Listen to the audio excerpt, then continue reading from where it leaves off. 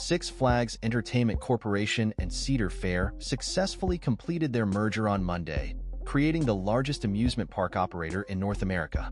The combined company, now known as Six Flags Entertainment Corporation, will be headquartered in Charlotte, North Carolina.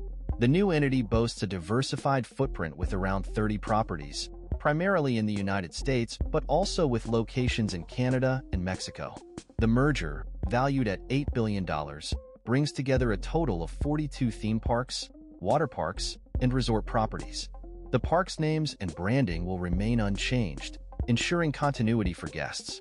Richard Zimmerman, the president and CEO of the newly formed Six Flags Entertainment Corporation, expressed excitement about the merger, highlighting the enhanced financial flexibility that will allow for investments in new rides, attractions, and consumer technologies.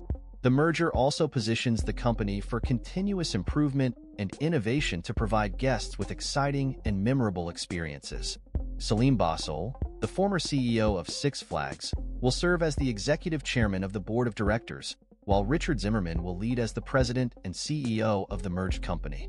The merger brings together iconic properties such as Knott's Berry Farm, Cedar Point, Six Flags Over Texas, and Six Flags Great Adventure under one umbrella.